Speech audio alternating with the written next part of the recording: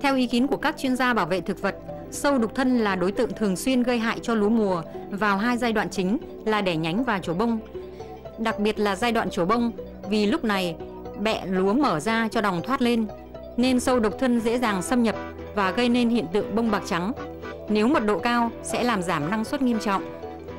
Sâu đục thân bướm hai chấm gây hại nặng nhất trên các ruộng lúa trổ muộn hay giai đoạn sâu lứa năm nở tập trung từ cuối tháng 9 đến đầu tháng 10.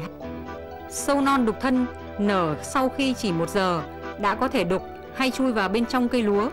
Lúc này, việc phun thuốc trừ sâu rất khó khăn, vì vậy bà con nông dân cần trừ khi lúa thấp tho chỗ hay nứt ne đồng sẽ có hiệu quả cao nhất.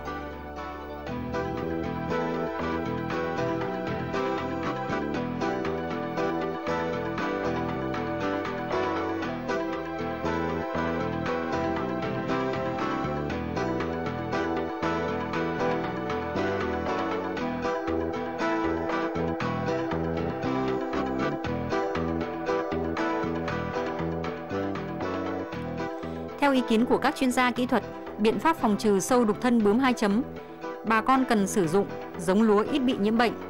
Sau khi gặt lúa, cày lật gốc dạ, phơi ải hoặc ngâm nước để diệt nhộng. Vệ sinh đồng ruộng, diệt trừ cỏ dại để loại trừ ký sủ của sâu.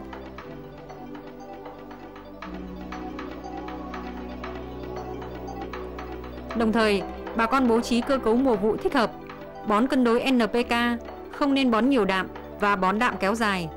Sử dụng các biện pháp thủ công như ngắt rảnh héo, ổ trứng, bẫy đèn đồng loạt bắt bướm.